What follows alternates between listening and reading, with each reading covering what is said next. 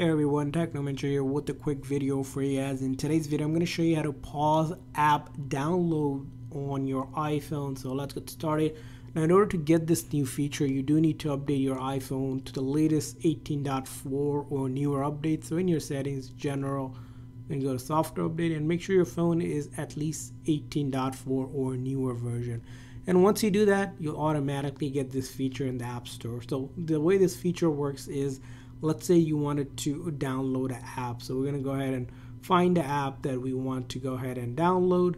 So let's go ahead and try to download, for example, Peacock as example. When I start downloading, generally in the past, right, there would be no option to pause it. Now there's gonna be a pause option. We can select on it and click on it and it's going to say resume that means the app hasn't downloaded as you can see here it paused on my screen here. And if I wanted to resume back again I simply tap on it and it will begin the process. So as long as you see once you click download and you want it to pause it you can tap on it to pause it and then it will pause. And then once you're ready it will be installed by clicking on resume.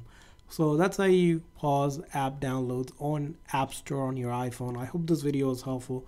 If so, please consider a like and subscribe button for more tips and tricks for your iPhone. We'll see you guys next time.